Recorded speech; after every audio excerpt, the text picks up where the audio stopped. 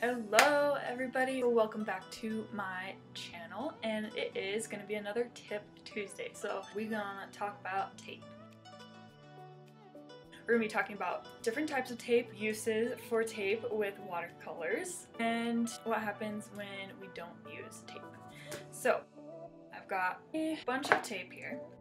Let me introduce my different types of tape. Here's my washi, and then we've got some masking tape, some um, green painter's tape, hyper tough electrical tape, gorilla tape that is like strong duct tape, and regular scotch tape. So today we are going to do a little bit of a tape test. It's not going to be as visible as last week's pen test, but I will talk you through it.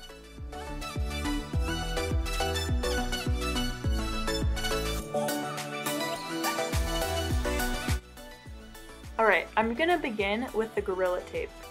This Gorilla Tape is too strong and I do not recommend it for a watercolor painting.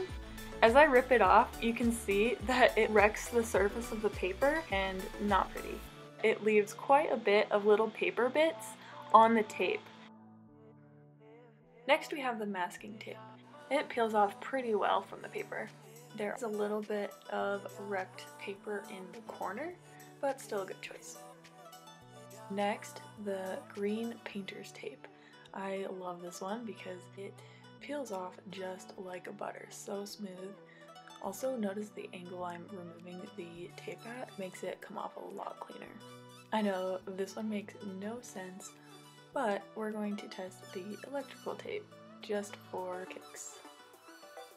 It leaves paper on it and rips it, so definitely not good onto the clear scotch tape. Now, this one isn't terrible, but I just want to see where it is so it doesn't confuse me when I'm painting. Lastly, the washi tape.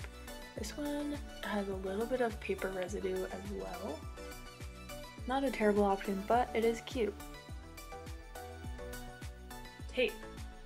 When we tape it down, it creates a level surface so nothing's gonna move around it's going to hold your paper out flat so that it doesn't warp, right? When paper gets wet, it likes to bubble up and warp. So our tape helps eliminate that. And our tape also can be used for sectioning off. So we will look at what that looks like. So sectioning off your design is super easy. Wherever you section it off at, the tape is going to cover and for the most part to seal off those edges so that none of the color or water gets into sections that you don't want it to. Often like corners, edges, or even little designs that you create in your paper.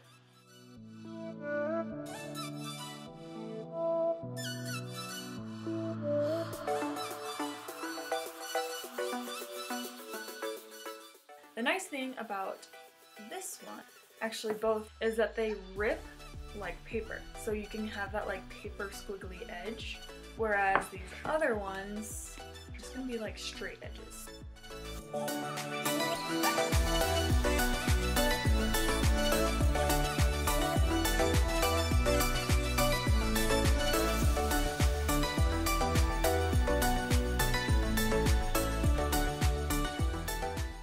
Once the paint dries, you can go ahead and remove your tape and reveal your final design.